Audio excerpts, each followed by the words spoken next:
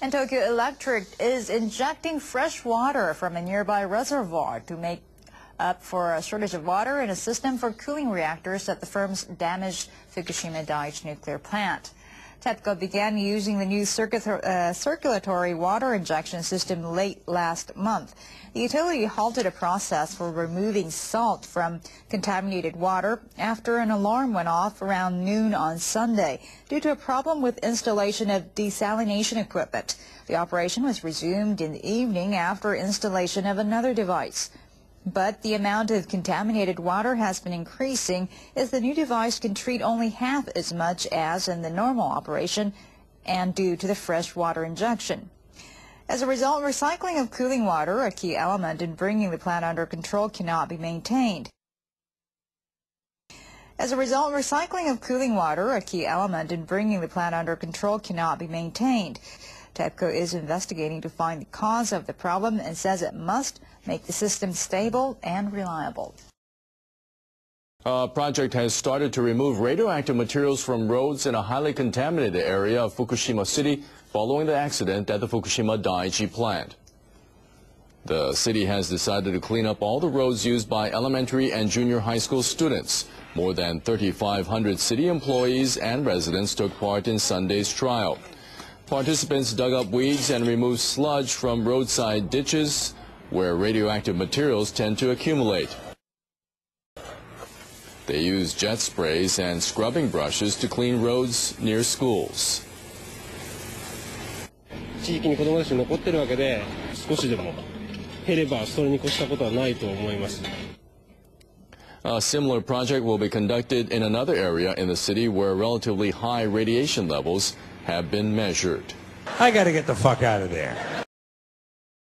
Construction laborers in areas hit by the Japanese earthquake and tsunami and the, the Fukushima Daiichi nuclear plant say their working conditions are terrible. 1,500 disgruntled laborers aired their grievances at a meeting in Tokyo on Sunday. A man who worked on temporary housing in Iwate Prefecture spoke about the pay and living conditions. They told us they'd pay $250 a day, but they only paid us 90 and we had to squeeze into a tiny space to sleep. Laborers involved with water decontamination at the nuclear plant said they were not given any information about the dangers of radiation. The head of the International Atomic Energy Agency says operations to bring the Fukushima Daiichi nuclear plant under control are going as planned. I have a very low tolerance level for stupid bullshit. IAEA Director General Yukiya Amano traveled to the facility on Monday, the day after he arrived in Japan. This is his first visit to Fukushima Daiichi since the March 11th earthquake and tsunami triggered the nuclear accident there.